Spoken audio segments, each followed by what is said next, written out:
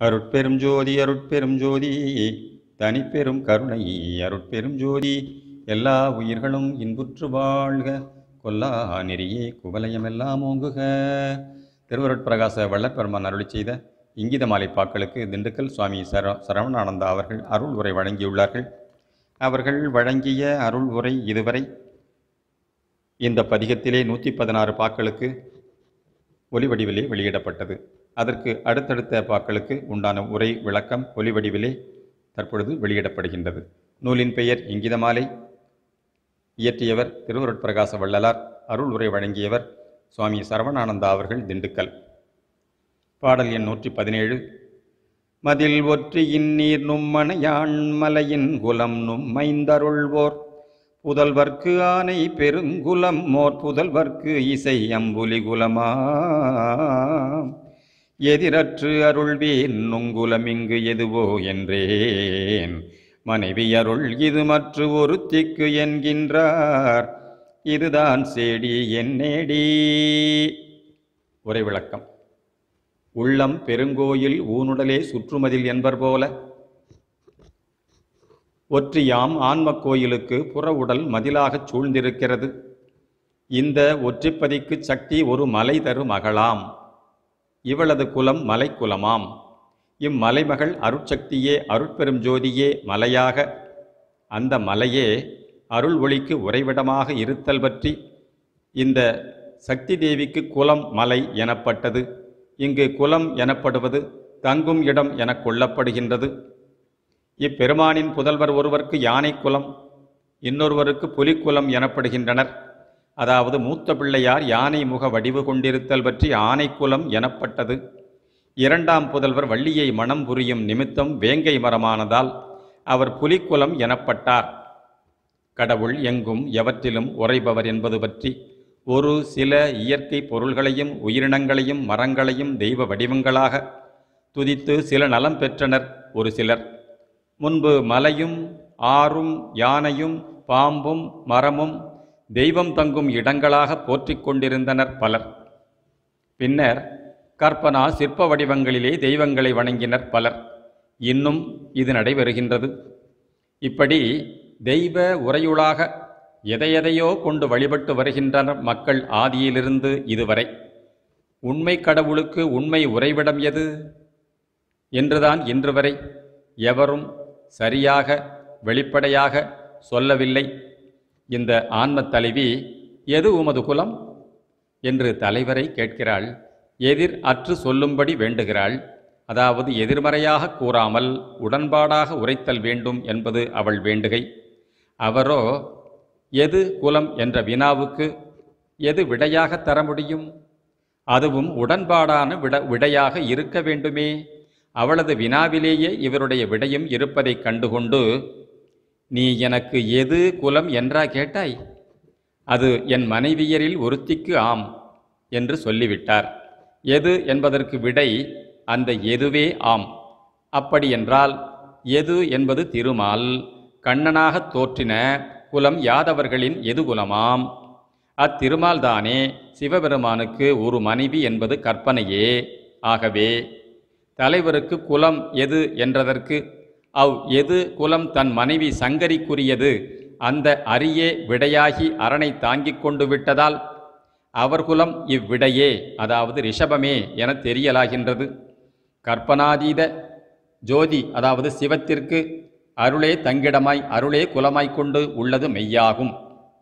அடுத்த பாடல் எண் நூற்றி பதினெட்டு தேமாம்பொழில் சூழ் ஒற்றையுளி திகழும் தகரக்கார் குலத்தை பூமாநிலத்தில் விழைந்துற்றீர் புதுமை இகுதும் புகழென்றேன்.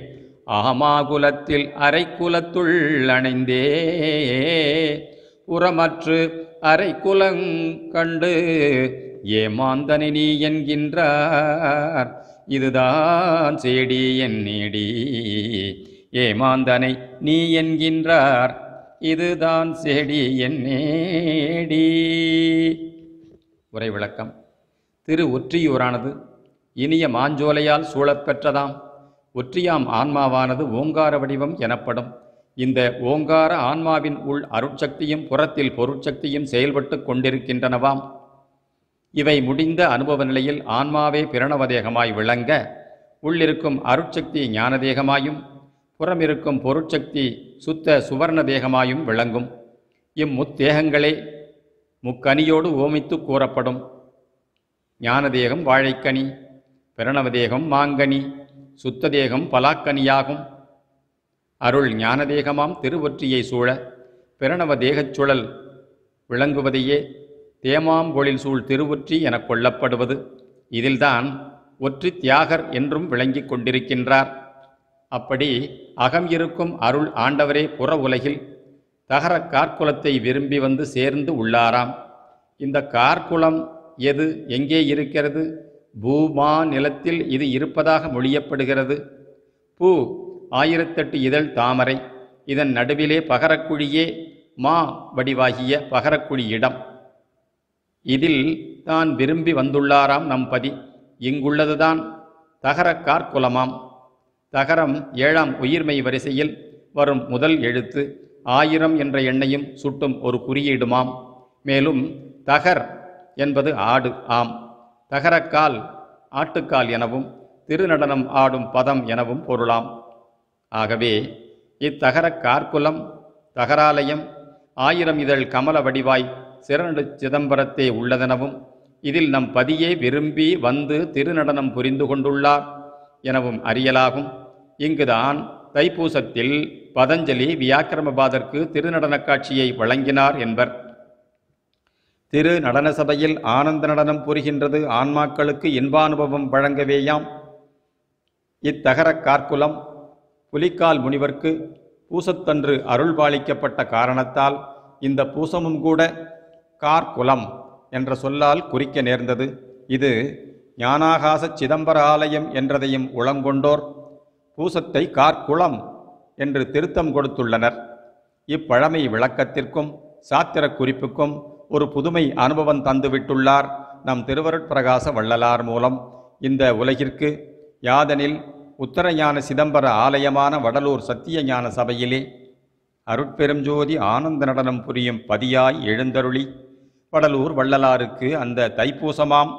கார்குளத்திலே மரணமில்லா பெருவாழ்வோடு கூடிய திரிதேக சித்தியையும் வழங்கிவிட்டார். இதுவே கடவுளுக்கு புதுமையிற் புதுமையாம். பெரும் புகழ் சேர்த்திருக்கின்றதாம். இந்த இங்கித குறிப்பு இச்செய்யுளின் முதல் இரண்டடியிலே கருவாய் அமைந்துள்ளதை இத்தருணம் அவரே கண்டுகொள்ளவும் செய்துள்ளார்.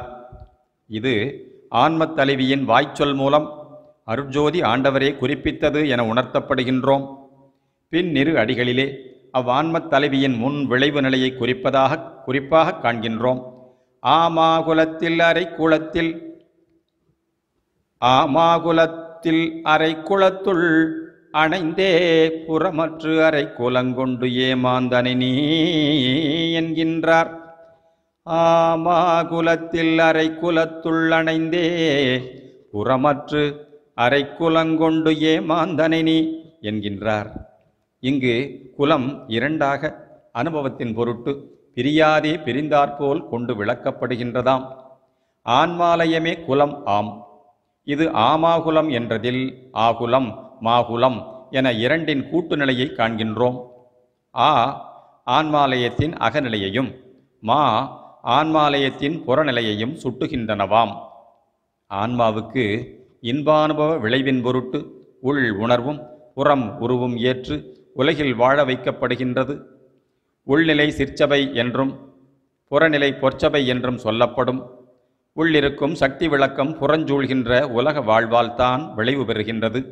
அறியாமை காலம் எல்லாம் அகத்தில் ஆகுலம் அதாவது துன்பமே வைத்துக்கொண்டு புறத்தில் மாகுலம் அதாவது பெரிய ஆடம்பரமான வீட்டில் வசித்து வருகின்றதாம் இவ் ஆன்மா. உலகம் எல்லாம் உதிக்கின்ற ஒளிநிலை மெய் இன்பம் உருகின்ற வெளிநிலைகளும் கடவுளின் இரு திருவடிகளாக கொள்ளப்படும். இதில் குறிக்கப்படுகின்ற ஒளிநிலை புறத்தது. வெளிநிலை அக உணர்வு உள் விளங்குவதாம். உலகில் தோற்றுவிக்கப்படும் ஆன்மாவுக்கு புறஞ்சூழ்ந்துள்ள மா ஜோதியே எல்லா வடிவங்களாயும் தேகங்களாயும் மாறி மாறி வந்து வாழ்வுறச் செய்வதால் உள்ளிருக்கும் ஆன்ம ஆற்றல் உயிராய் உணர்வாய் மெய்ஞானமாய் அருளாய் விளைந்துள்ளதாம். அருள் விளைவுறு தருணமே சூழ் உயிர் உடம்புடன் சுகானந்த அனுபவமும் சேர்கின்றதாம். இப்போது இங்கித பின் ஈர் அடிகளின் குறிப்பை ஊன்றிப் பார்க்கும் சமயம் உண்மை தெளிவாகத் தெரிய வரும்.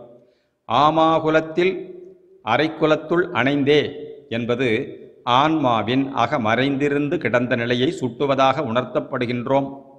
புறத்தே எஞ்சியுள்ள அரைக்குலத்தில் உலகமெல்லாம் சூழக்கொண்டு ஏமாந்திருந்த நிலை ஏமாற்றம் அபக்குவத்தில் மோசம் போதலையும் பக்குவத்தில் இன்பம் கொள்ளுதலையும் குறிக்கும்.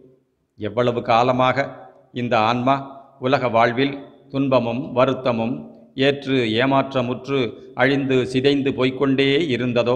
ஆனால் இவ்வளவு காலமும் அகத்தில் பூதசக்தியாகவும் அதினின்று உயிர் ஆற்றலாகவும் அதினின்று புலன் உணர்வாகவும் அதனின்று மன அறிவாகவும் அதினின்றே மெய்ஞானமாகவும் முடிவில்தான் அருள் இன்பானுபவமாக கிடைக்கப் பெறுகின்றதாம். இவ்வனுபவம் உண்டாகத்தான். இப்பிரபஞ்ச காரியங்கள் எல்லாம் முன்னோடியாக இதுகாரும் செயல்பட்டு வந்துள்ளன. முடிவான அழிவில்லா ஆனந்தானுபவ வாழ்வு ஒன்றே குறிக்கோளாய் வைத்து தோற்றுவிக்கப்பட்டுள்ள வடலூர் சத்திய ஞான சபையின் அருட்பெரும் ஜோதிபதியின் தனிப்பெரும் கருணை வெளியீடு இத்தருணம் இவ்விங்கித மூலம் தெளிவு செய்யப்படுகின்றது.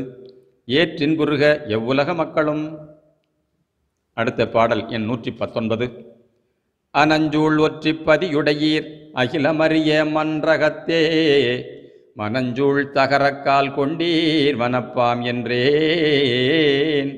உலகறிய தனஞ்சூழகத்தே அணங்கே நீதானும் தகரத் தலை கொண்டாய் இனஞ்சூள் அழகாம் என்கின்றார்.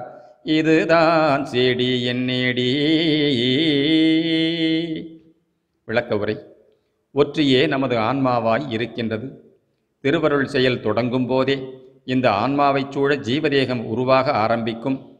அதே சமயம் அக ஆன்ம ஆகாசத்தில் ஆன்மாணுக்கள் நிரம்பியே இருக்கும். இவ் ஆன்ம அணுக்களின் சூழலில் விளங்கும் நம் ஆன்மாவே. அனஞ்சூள் அன்னம் சூழ் ஒற்றியாக இங்கு முதலடியில் மொழியப் பெற்றுள்ளதாம் இந்த ஆன்ம ஒற்றிப்பதி உடையாரே புற உலகம் எல்லாம் அறிய மன்றகத்தே சிதம்பர பொன்னம்பலத்திலே தகரக்கால் கொண்டு ஆடலுறும் பதம் கொண்டு நடராஜராய் திகழ்கின்றார். இது மனஞ்சூழ் தகரக்கால் எனப்படுகின்றது. இந்த நடராஜ தோற்றம் இருக்கிறதே இது மக்கள் மனத்தை ஈர்க்கும் பேராற்றல் கொண்டதாம். புலக்கண்ணுக்கும் தத்துவஞான நாட்டத்திற்கும் சிற்ப அலங்கார நோக்குக்கும் விஞ்ஞான கலை விழிக்கும் பெரு விருந்தாக நாளும் விளங்கி வருவது இந்நடராஜ படைப்பு. இது மனிதனுக்கு மகிழ்வளிப்பது கடவுளுக்கு ஓர் அரிய விளம்பரமாவதாம். இவருக்கு இதனால் புகழ் வருகிறது என்றால் இவ் ஆன்மத் தலைவிக்கும் இதில் பெரும் பங்கு உண்டு என்பதை அடுத்த அடிகளின் உட்பொருளாய் காண்கின்றோம். அணங்கே நீதானும் உலகறியத் தனஞ்சூழகத்தே தகரத் தலை கொண்டாய் என்று தலைவர் உரைத்து உவகையுண்டாக்குகின்றார். இந்த ஆன்ம அணங்கு அதாவது பெண் உலகில் வாழ்ந்து அனுபவத்தில் உண்மையை தெரிந்து கொள்ளக்கூடியவளாய் உள்ளாள். இவள் தனம் சூழ் அகத்தே தகரத் தலை கொண்டுள்ளாளாம். இவளுடைய அகமாகிய ஆன்ம நிலையம் ஆவிடையும் இலிங்கமும் போன்றும் சிறிய கொங்கை போன்று உள்ளதாம். இது விளங்கும் இடம் தலையுள் தகர நிலையமேயாம். இதுவே இங்கு இவள் தகரத்தலை கொண்டாளாய் சாற்றப்பட்டது. அவர் தகரக்கால் கொண்டிருக்க இவள் தகரத் தலை கொண்டுள்ளாள். அந்த காலும் இந்த தலையும் ஓரினமாகச் சூழ்ந்துள்ளது அழகாகும். இவ்விரண்டையும் ஒன்றாய்க் கொண்டால் கால் பிளஸ் தலை காற்றலை என விளங்கும். காலை தாள் எனக் கொண்டால் தாள் பிளஸ் தலை தாடலை என்றாம். இதில் காற்றலை அகமிருந்து அலையலையாக வெளியாம் கால் அதாவது மூச்சுக்காற்று திருவருளாலே வேகாக்காலாகி வாழ்விப்பதும் தாள் தலையிடத்தே பொருந்தி இரண்டற்று அலைவர இருக்கச் செய்வதுமாம். அகத்தே பிரிவர பொருந்தியுள்ள கடவுளான்ம உண்மையையோர்ந்து உட்கூடி உலவாது ஒடுங்கி போக வைப்பது நம் சுத்த நெறியில் இந்த காற்றலை ஆன்மத் தலைவிக்கு அகம்பொருந்தி இருந்து கொண்டு தலை ஞான நெறியை தரணியெல்லாம் பரப்பிக் கொண்டிருக்க உதவுவது. இங்கு பெற இருக்கும் இங்கிதானுபவத்தில் இக்காலும் தலையும் சாகா காலும் பொருந்தி போகா புனல் கொண்டு விளங்கச் செய்வதாம். இதுவே பிரணவதேகம் ஞானதேகம் சுத்ததேகம் எனும் முத்தேக முத்தி வடிவாய் உலகறிய வெளியாக்கப்படுகின்றது வள்ளல் அடிகள் மூலம். அடுத்த பாடல் எண் நூற்றி இருபது. பங்கேறுகப் பூம்பனையொற்றி பதியீர். நடு அம்பரமென்னும் அங்கே ஆட்டுக்கால் எடுத்தீரழகின்றேன் அவ்வம்பரமேல் இங்கே ஆட்டுத்தோல் எடுத்தாய். யாம் ஒன்று இரண்டு நீ என்றால் எங்கே நின் சொல் என்கின்றார். இதுதான் செடி என்னேடி உரை விளக்கம். பங்கேருகம் அல்லது பங்கஜம் என்பது தாமரை. பங்கம் சேற்றில் முளைத்த செந்தாமரையையே இங்கு சுட்டப்படுகின்றது. திருவொற்றியைச் சூழ தாமரை பூம்பொழில் உள்ளது என்பது நம் ஆயிரம் இதழ் தாமரை நடுவிற்கும் ஆன்மாவையே குறிப்பதாம். இங்கு குடிகொண்டிருக்கும் இவர் நடு அம்பரம் என்னும் அங்கே ஆட்டுக்கால் எடுத்தாராம். இங்கே என்பது ஆன்ம சிற்சபை நிலையை குறிப்பது அங்கே என்பது அகண்டமாய் சூழ்ந்துள்ள பொற்சபையை குறிப்பது. இதுவே சிதம்பரமாம் ஆகாசவெளி அங்கே ஆட்டுக்கால் எடுத்தது சிதம்பரத்தில் நடனமாடுவதே. இச்சிதம்பரம் நடு அம்பரம் எனப்படுகிறது. அகண்டாகாச பேருருவம் ஆண்டவர் வடிவாம். அதனை நம் சிதாகாச சிற நடு நின்று நோக்கும்போது நடுவாகத் தோற்றுவது. ஆகையால் இச்சிதம்பரம் நடு அம்பரம் எனப்படுகிறது. இதனை விராட்புருடனின் இதயம் என்பது புனைந்துரையே இம்மேனிலை சிதம்பரத்திலே நடனம் புரிவது நன்மை பயப்பது அழகு எனப்படுகிறது. ஆண்டவர் சிதம்பர நடனம் மேனிலையில் அன்று முதல் இருந்து வருவதாம். அங்கே அந்த நடனம் எவ்வளவோ காலம் நடந்து வந்துதான். இங்கே இப்போது இந்த ஒற்றியூரிலே இத்தலைவிமன் தோற்றி இங்கிதம் பேசுகின்றார். இங்கே ஆட்டுத்தோல் எடுத்தாய் யாம் எடுத்தது ஒன்று ஒரு ஆட்டுக்கால். ஆனால் நீ எடுத்துள்ளது இரண்டு அதாவது இரண்டாகிய ஆட்டுத்தோல் என்று கூறுகின்றார். அவர் எடுத்த ஆட்டுக்கால் நடன திருவ திருவடி இடக்கால் உயர்த்தி ஆடும் உண்மையை சிதம்பரத்தில் கண்டோம். இவள் எடுத்த ஆட்டுத்தோல் இரண்டாமே அவை யாவை? தோல் என்பது யானை என பொருள்படும். இந்த யானையே அகங்கார போத போதகத்தின் அதாவது யானையின் உருவகமே அதாவது யான் பிளஸ் ஐ நான் தலைவன் நானே எவருக்கும் உயர்ந்த தலைமை வகிப்பவன் என்று துவனி பொருள் பயப்பதாம். இவ் யானை எனும் சொல் மேல் ஆட்டுத்தோல் என்னும்போது அந்த அகங்கார பிராணி தீனி தின்னும்போது கூட அவ் அகங்கார குணம் வெளிப்படுத்தும் போது தோற்றம் போல் ஆடி அசைந்து கொண்டே தின்னுமாம். ஆனை அசைந்து தின்னும் வீடு அசையாமல் தின்னும் என்பது உலகப் பழமொழி. இந்த ஆட்டுத்தோல் அசையும் ஆங்கார யானை எனக் கொள்ளலாகும். மேற்படி ஆட்டுத்தோல் ஆங்கார களிறு இரண்டினை கொண்டுள்ளாள் என்று சொல்லப்படுகிறது. இங்கு அந்த யானை இரண்டு எனக் கொள்ளாது. ஒரு யானையின் இரண்டு தந்தத்தையே குறிப்பதாக அமைகின்றது. இங்கு இக வாழ்வில் இவளது இரு தோல் கொம்பு தந்தம் அதாவது தம் ப்ளஸ் தம் என விளங்கி அபக்கவிகளை அழிக்கின்றதாம். ஆகவே அங்கு அவரது ஒரு ஆட்டுக்காலுக்குள்ள உயர்வும் இங்கு இவளது இரு ஆட்டுத்தோலுக்குள்ள இழிவும் உணர்ந்து நல்லோர் அதனை மதித்துக் கொள்வர் இதனை ஏற்கார். இத்துடன் நூற்றி இருபதாவது இங்கிதமாலை பாடலுக்கு உண்டான உரை விளக்கம் நிறைவு பெறுகிறது. அருட்பெரும் ஜோதி அருட்பெரும் ஜோதி தனிப்பெரும் கருணை அருட்பெரும் ஜோதி தயவு.